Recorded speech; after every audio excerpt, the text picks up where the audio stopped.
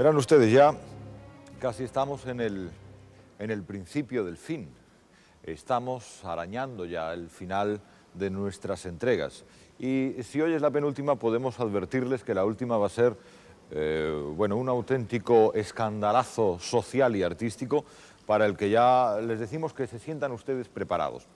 Pero hoy nosotros eh, vamos a rebuscar en nuestro cofre de tesoros. Vamos a buscar y a encontrar posiblemente algunos de los momentos más brillantes que a lo largo de tantas semanas hemos vivido aquí en este plató. Es un poco la historia hecha a jirones, ahora que ya estamos desmontando, prácticamente desmontando la casa. Entre todos y todos los artistas que pasaron habría que llegar al principio y convenir en, en el hecho de que Rafael fue uno de los que más dio que hablar, porque nos regaló este maravilloso capote de grana y oro.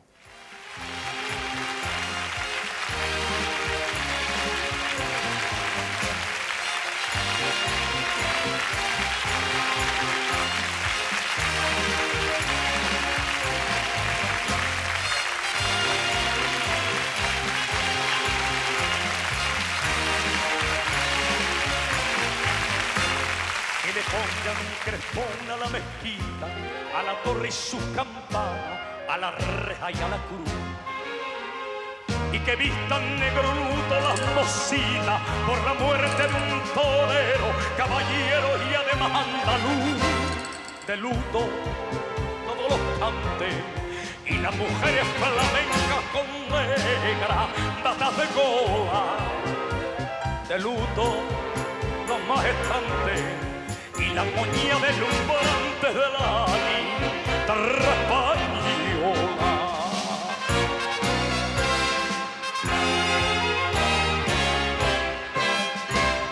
Capote de grana y oro, alegre como oh, oh, oh, oh, una rosa que embestía ante el toro igual que una mariposa. Capote de valentía, de tu vergüenza torera, que a tu cuerpo se seguía lo mismo que una bandera, como reliquia y tesoro. Te llevo aquí en el alma mía,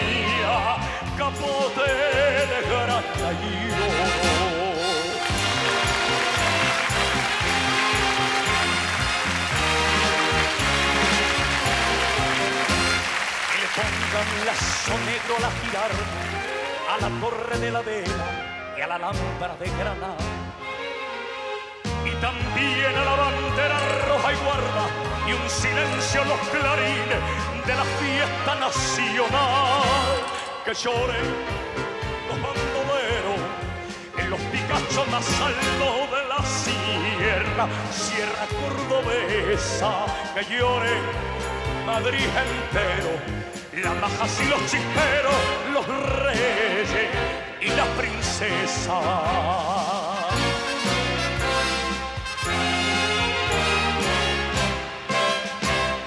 Capote de grana y oro, como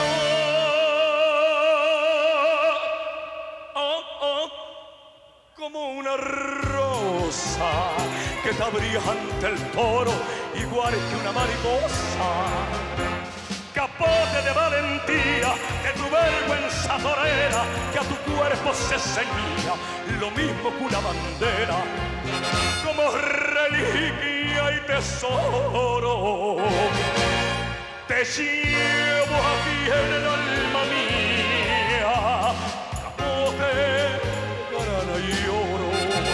como reliquia y tesoro. Te llevo en el alma,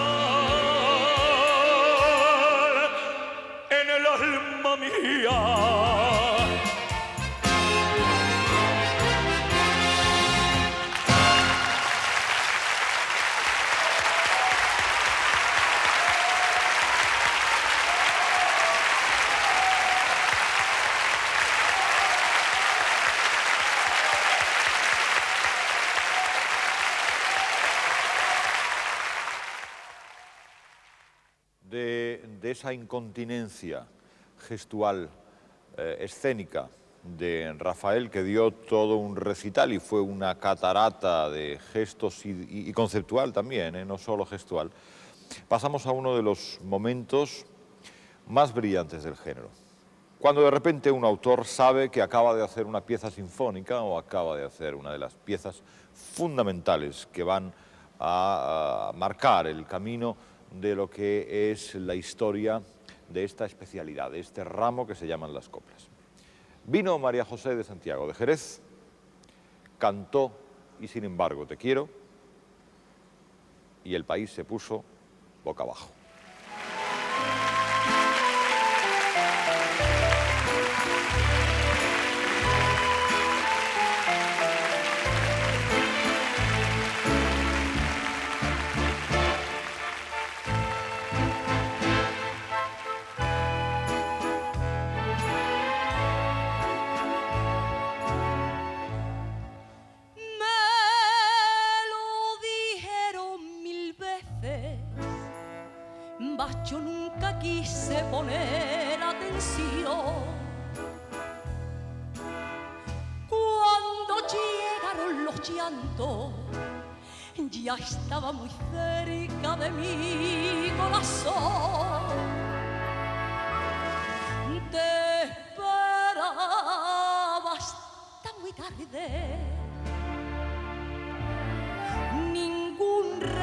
Reproche te hacía. Lo más que te preguntaba era que si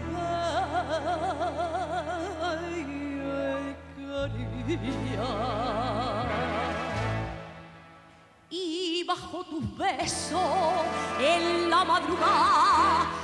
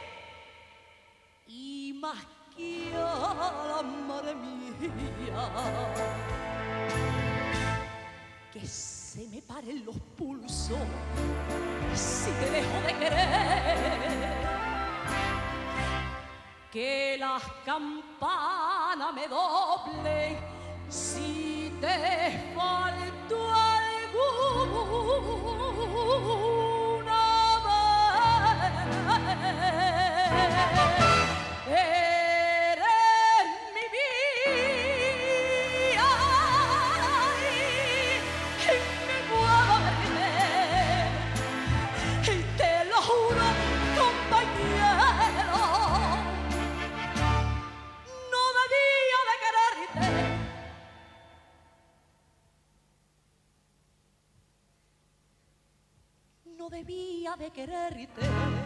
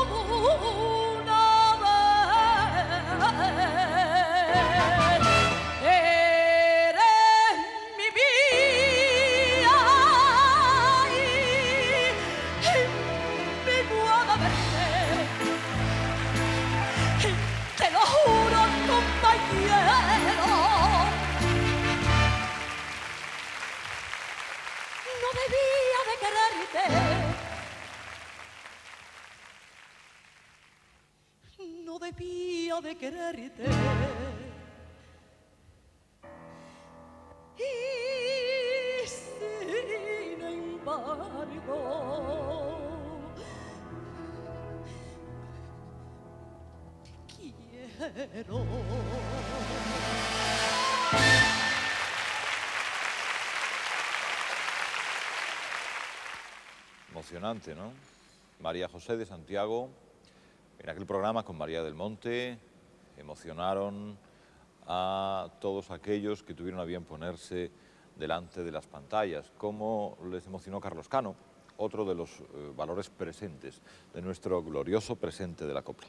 Carlos Cano eh, vino a cantarle a esa mujer maravillosa que se llama Imperio Argentina, y que una vez más dio toda una lección de elegancia y de señorío. Una vez más volvió a llenar las pantallas con su justa y chaparrita estatura, con su grandeza espiritual, con eh, su belleza y sobre todo con su palabra reposada, discreta y señorial. Carlos Cano, aquel día, con más fervor que nunca, cantó para Malena Maricruz.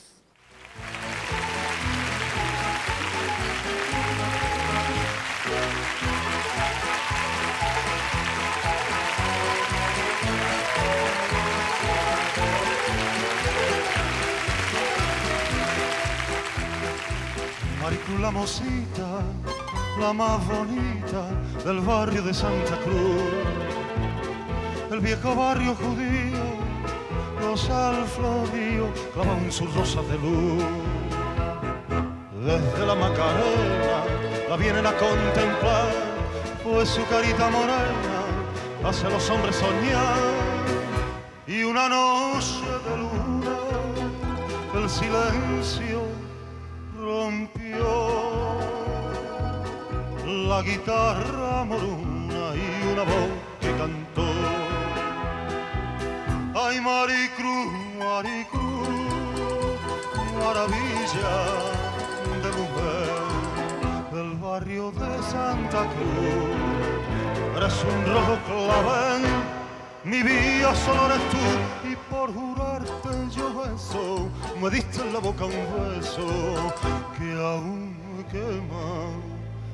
Maricruz, ay Maricruz, ay, ay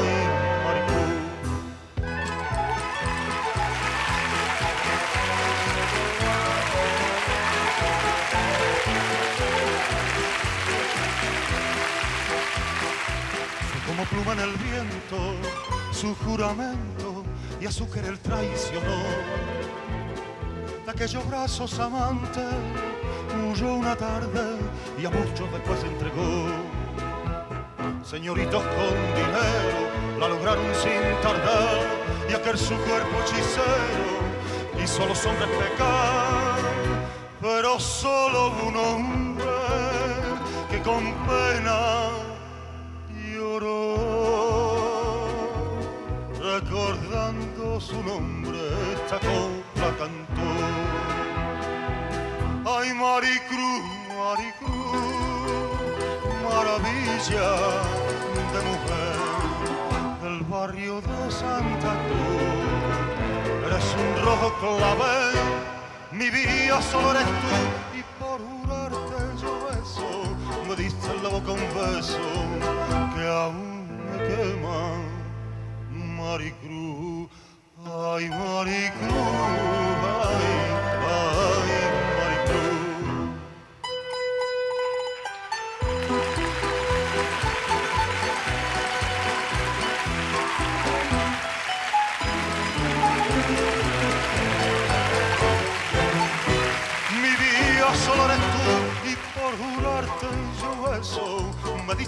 boca un beso que aún me quema. Maricruz, ay Maricruz, ay, ay Maricruz.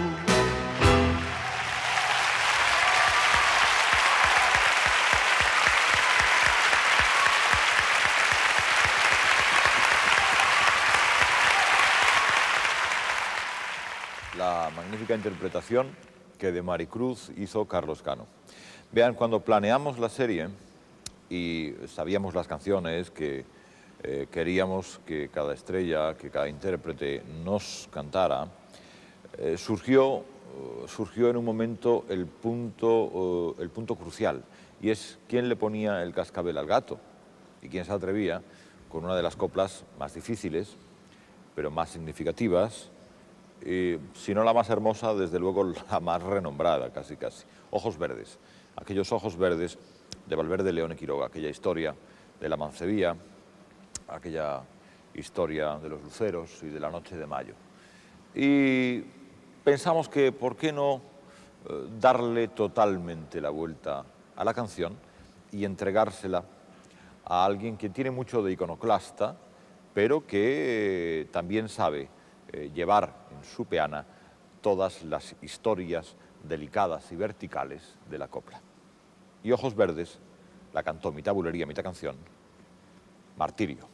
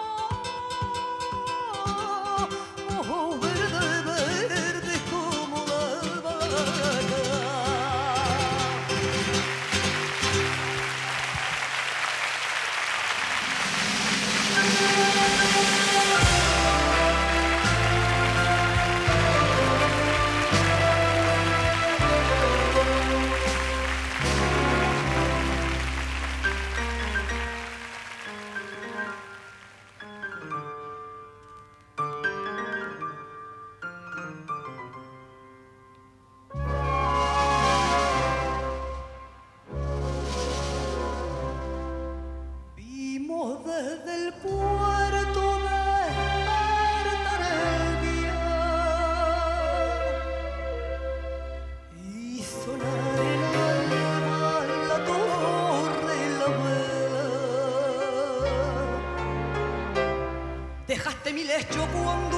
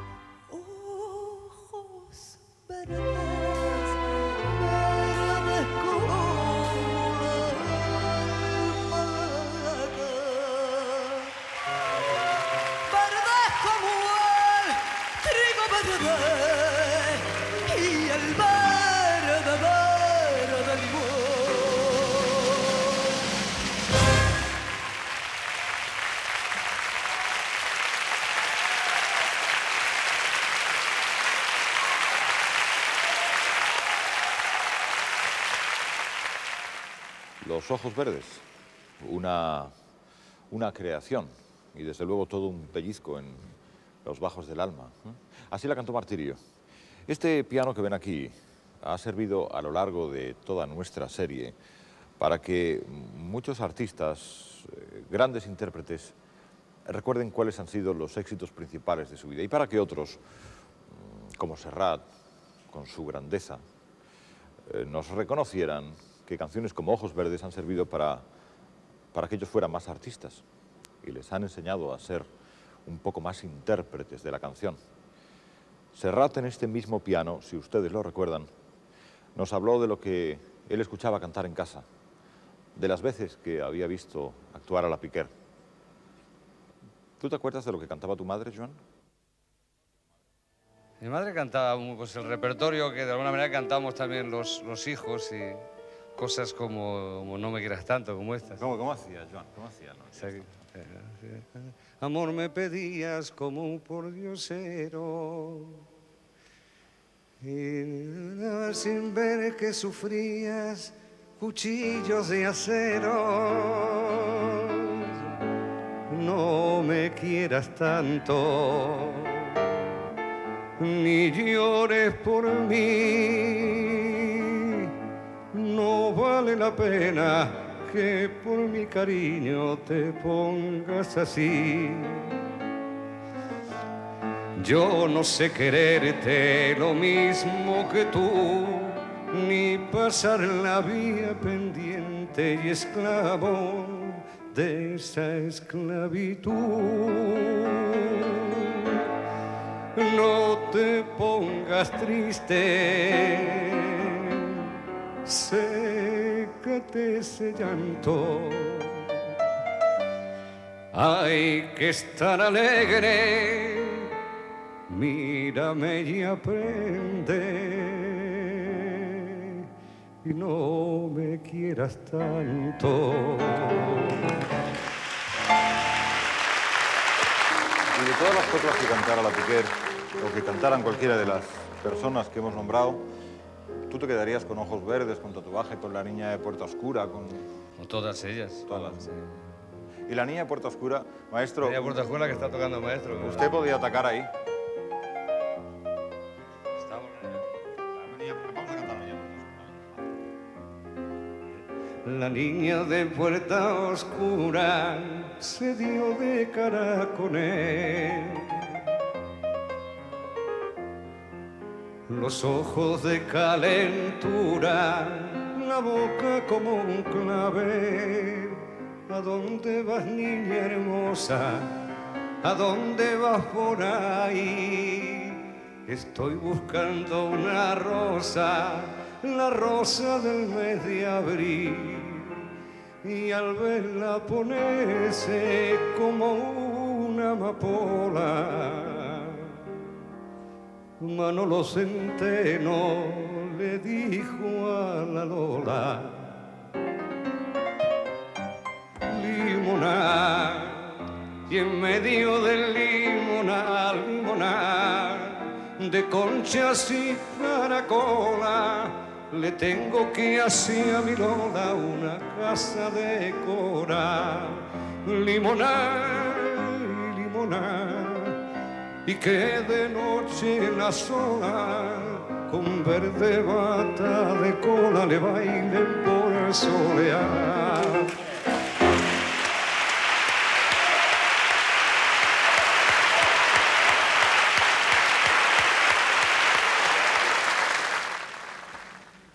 Guarden eso, ¿eh? porque eso algún día valdrá, valdrá muchísimo. Nos vamos al intermedio, volveremos después. Eh, pero no crean, eh, este palco ha sido escenario de cómo ilustres visitantes han aplaudido la alegría mediterránea y la pena mora. De la pena mora a la alegría china, porque además de Manolita Chen, eh, el señor que está aquí a mi izquierda, como su misma cara indica, es el señor Chen, al que le voy a enseñar las instalaciones, el Tiananmen este que hemos montado aquí, y volvemos después del intermedio. ¿eh? Gracias. Estudio. Maravilloso. Preciosa orquesta.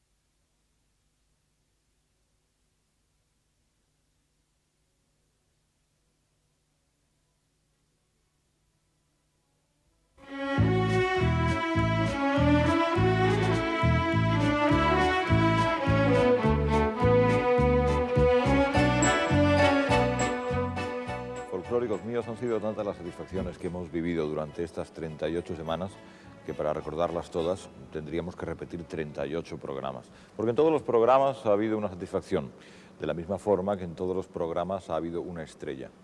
Y es que esta tierra nuestra da tantas estrellas.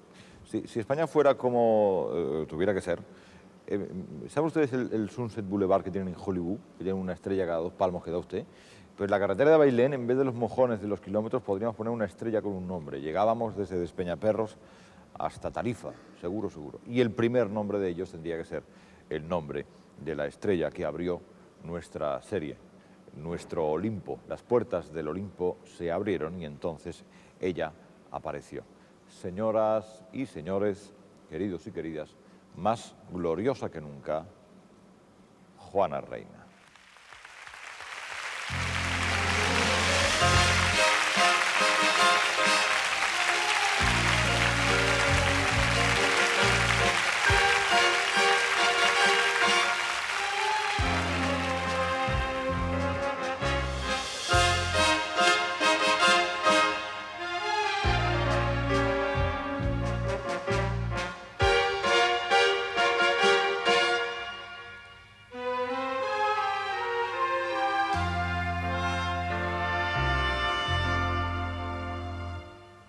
No escucho lo que dicen las lenguas de vecindona, porque de sobra yo sé por quién está su persona.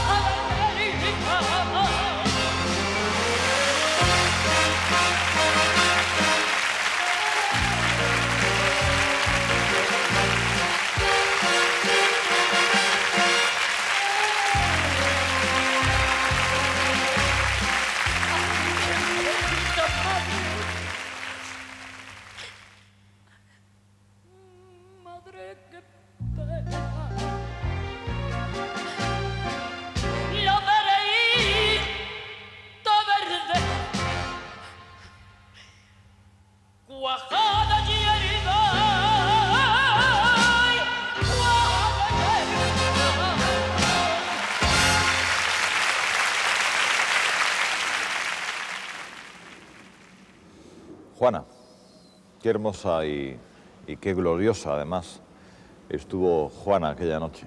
Las cinco farolas que a lo mejor no hacían ni siquiera falta recordarlas porque ustedes las tienen escritas en su memoria, en eh, su recordadero particular.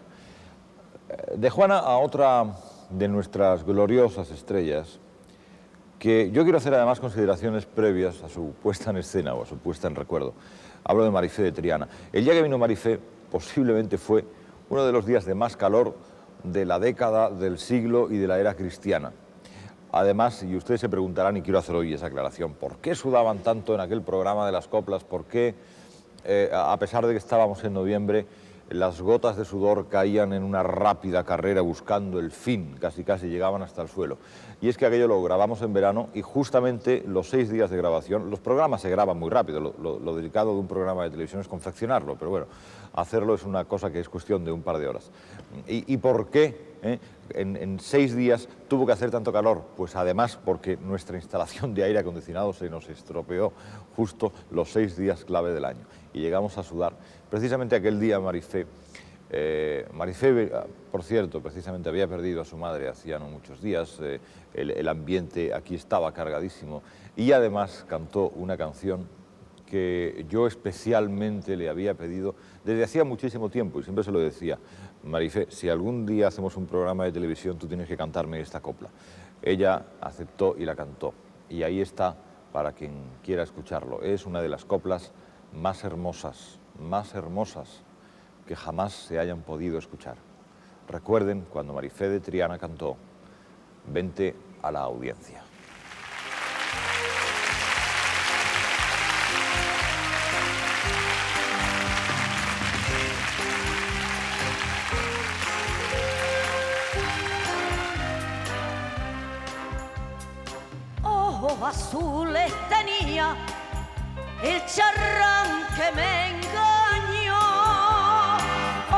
Color de cielo, mira tú si fue traición. Ay,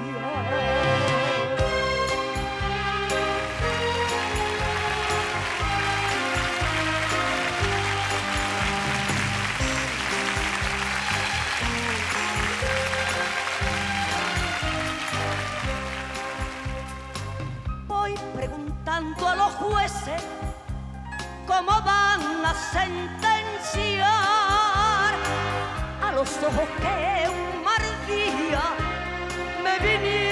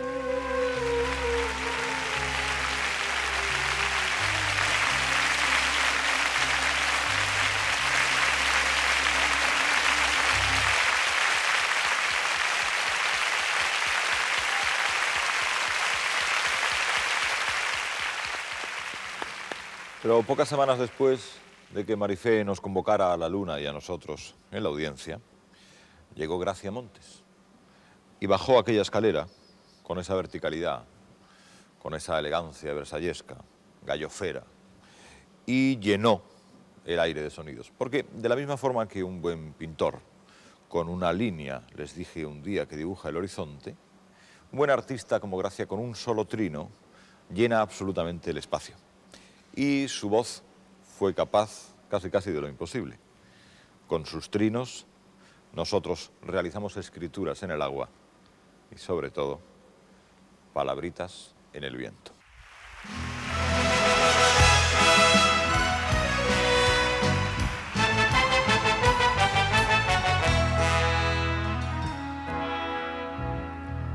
Por mucho que tú lo digas lo vuelvas a decir, tú y yo hacemos malas migas y no me fío de ti. Que estás loco por mis besos, bueno que, que mis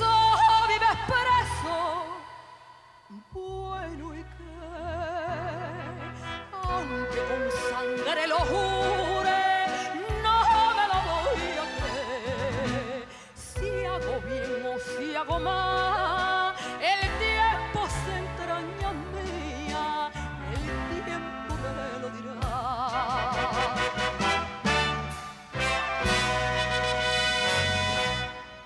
Escritura sobre el agua y palabrita en el viento, donde estar sabio que sepa la verdad.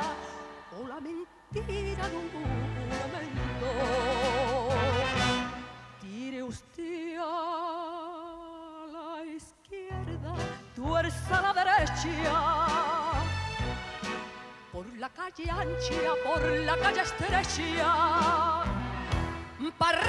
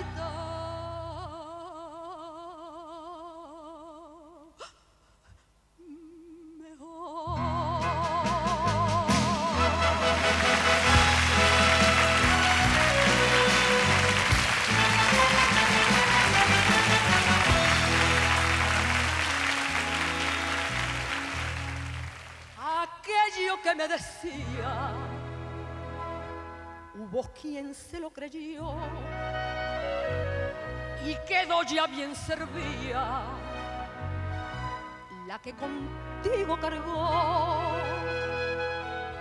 que la echaste de tu lado, bueno y qué,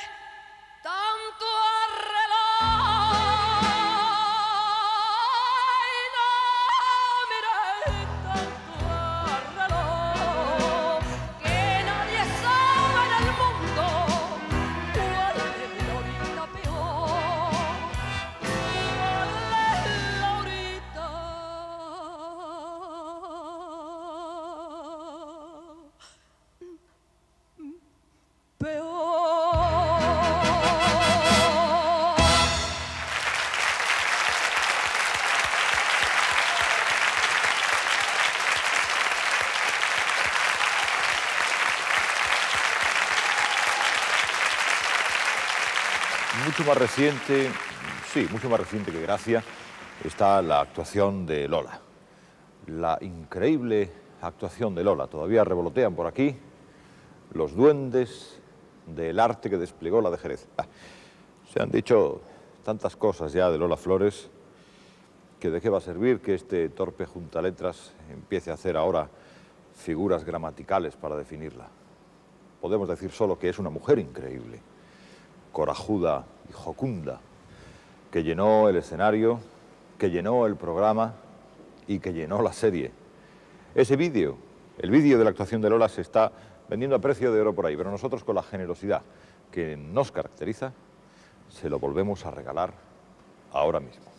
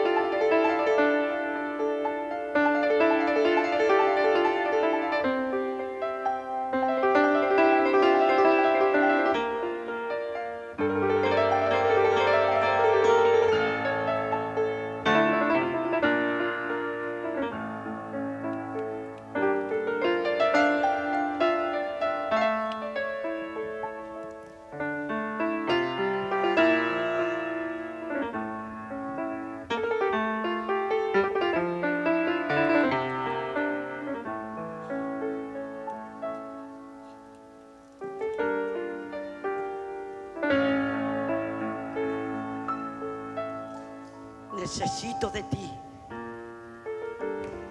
de tu presencia, de ese alegre locura enamorada. No soporto que agobie mi morada la penumbra sin labios de tu ausencia. Necesito de ti, de tu clemencia, de esa furia de luz de tu mirada, esa roja y tremenda llamarada que me impones amor de penitencia. Necesito tus riendas de cordura y aunque a veces tu orgullo me tortura, de mi puesto de amante no dimito. Necesito la miel de tu ternura, el metal de tu voz, tu calentura. Necesito de ti. Te necesito.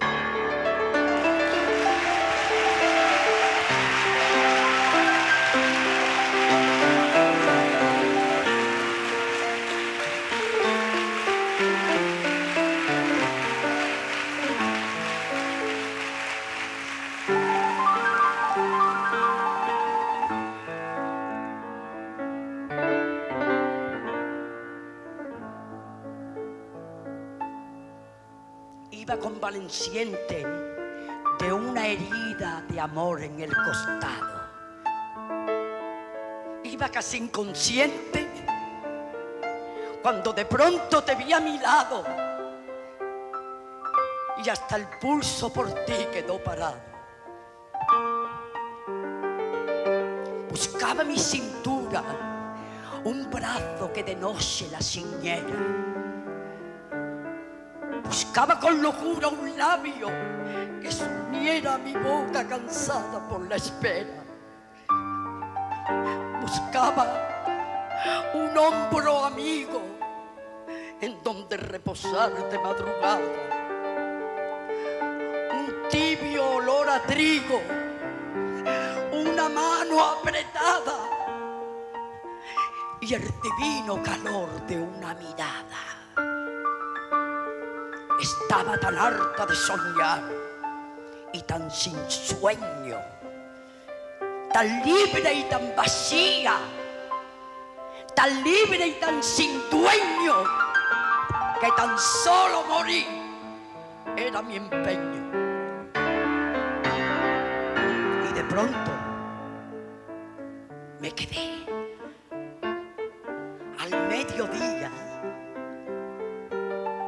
tu figura delgada, tu suave armonía y casi tu perfecta geometría. Y después, por la noche, perdida entre la calma de tu viento, me bebí suspirando la menta de tu aliento en un beso apretado, dulce y lento. Que espesa, que espesa la saliva, que lejano el ruido de la calle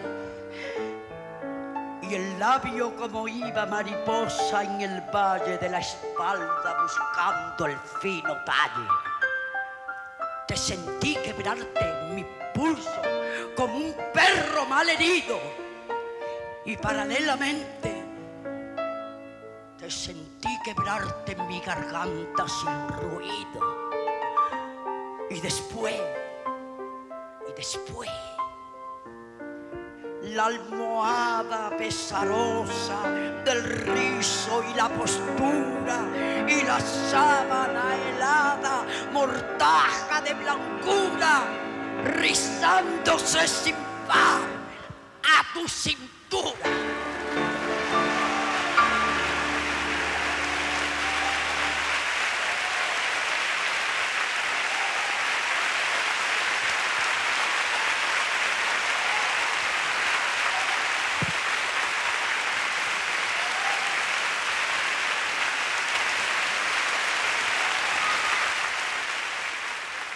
Y para terminar, de todas las estrellas, la más fugaz. La más fugaz, la más esquiva, la más mayor y la que está más lejos, porque hubo que ir a buscarla a Argentina.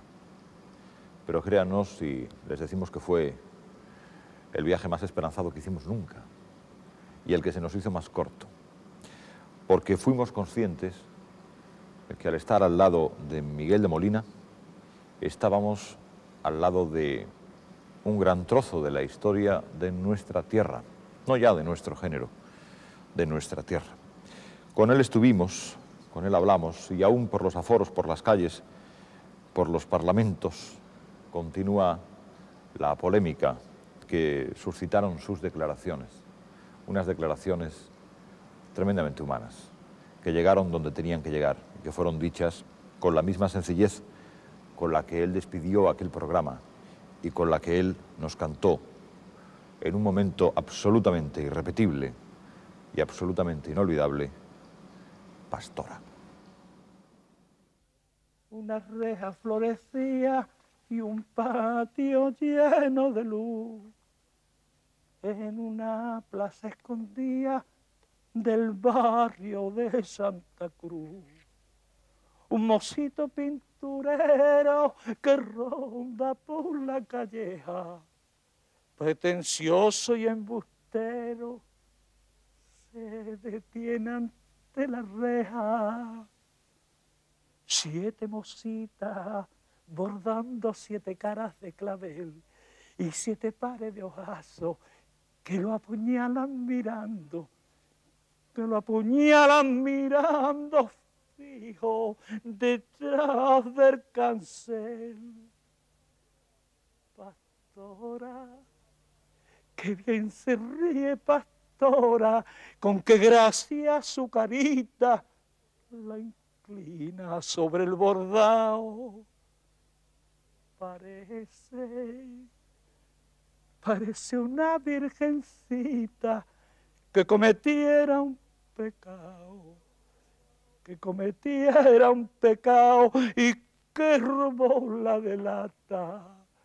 Cuando él le dice, pastora, pastora, vaya manitas de plata que tiene la bordadora.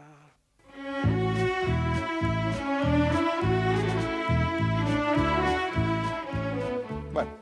la verdad que es que no me podría yo ganar la vida con este oficio, pero eh, me voy a dedicar a cuidar este aparatito para que la semana que viene esté en perfectas condiciones y pueda registrar uno de los momentos más brillantes que va a haber en toda la serie. Creo que esa frase la debo haber dicho como 10 o 15 veces, pero la semana que viene vamos a vivir un gran programa. Así que, por favor, estén ustedes atentos, sigan en esa pantalla y esperen a que volvamos, a que volvamos con el cierre especial de una serie de coplas que, les soy sincero, me da mucha pena que acabe. Porque en el fondo creo que le hemos cogido todos cariño al género. Hasta la semana que viene.